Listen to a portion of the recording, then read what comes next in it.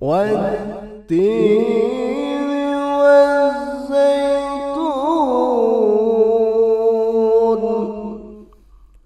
وتور سنين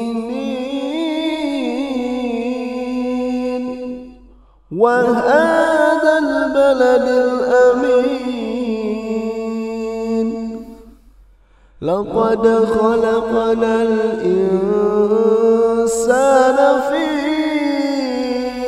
أحسن تقويم.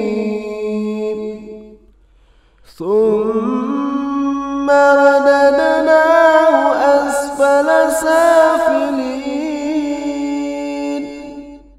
إلا الذين آمنوا وعملوا الصالحات فلهم فلهم أجر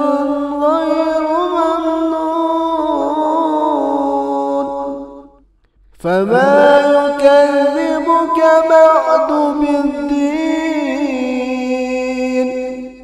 أليس الله بأحكم